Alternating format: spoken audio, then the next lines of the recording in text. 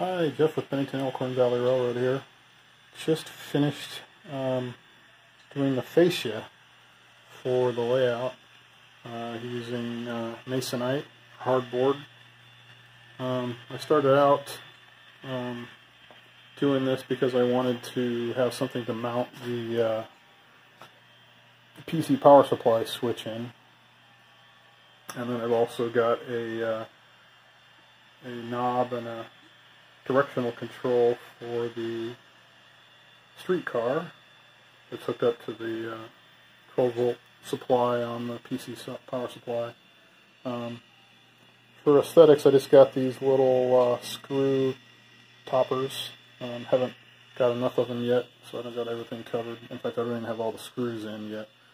But um, yeah, I think it. Uh, I'm really happy with the way it turned out.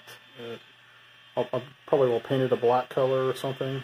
Um, but uh, yeah, I'm really happy. Uh, looks, I feel like it makes the layout look uh, that much more finished.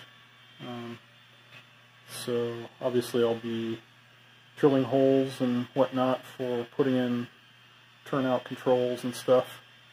But um, so yeah, pretty happy with it. Uh, but uh, yeah, Masonite works really well. That's, that's, what I ended up using. I think probably a lot of people use that. But uh, next thing we'll do is paint it black and uh, should look uh, pretty nice, I think.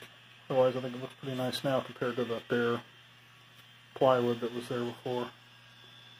Anyway, thanks for watching.